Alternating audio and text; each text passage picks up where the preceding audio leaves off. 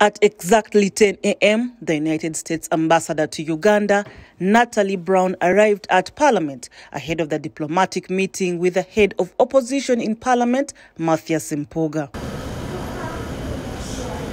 They were joined by the new party president, Robert Kyagulanyi.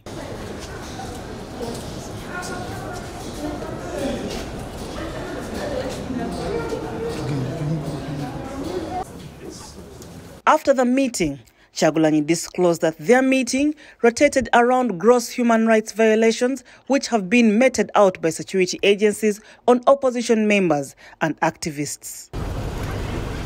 Uh, we were able to paint a clearer picture from the ground uh, to the diplomats that visited and uh, reascertained what they've been seeing in the media and other sources of constant human rights abuse, constant disrespect and undermining of the rule of law.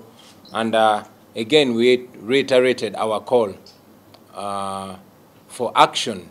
We expressed appreciation for the constant um, statements that come from the uh, United States uh, administration about the plight of Ugandans, but again, we called for firmer action we were asked about uh, the torture reports and uh, the dismissal of the Minister of Security of the same. You have witnessed numerous cases of torture and uh, human rights abuse. Kyagulanyi also spoke out on the recent impeachment of MP Francis Zaake from the Parliamentary Commission and faulted the entire impeachment process.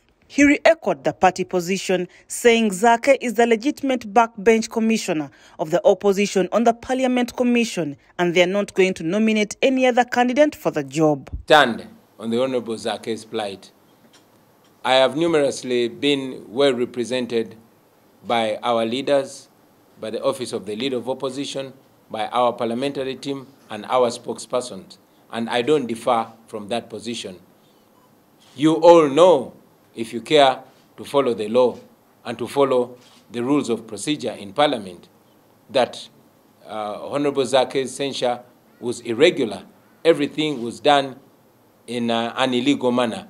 We don't believe in illegalities and we disagree with them. We continue to disagree with them. As far as we are concerned, the Honorable Francis Zaake is our commissioner. Zaake was decommissioned after he was convicted by the Parliamentary Committee of Rules, Privileges and Discipline over indiscipline. He was accused of insulting the Deputy Speaker Anita Among in a tweet.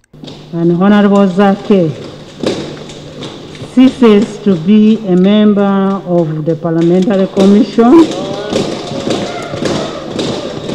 Report compiled by Fred Kajubi for the news.